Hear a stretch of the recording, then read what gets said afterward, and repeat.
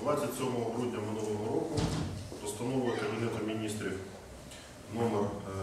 1374 деякі питання надання освітньої субвенції з державного бюджету місцевих, місцевим бюджетом для забезпечення викладання навчального предмету захисту України було призначено субвенцію. Загальна сума е, цієї субвенції е, становить 1 мільярд 745 мільйонів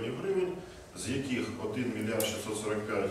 мільйонів гривень е, призначені на закупівлю засобів навчання та комп'ютерного обладнання для оснащення навчальних кабінетів предмету захисту України і 100 мільйонів е, для підвищення кваліфікації педагогічних е, працівників закладів освіти, які будуть забезпечувати викладання цього предмету.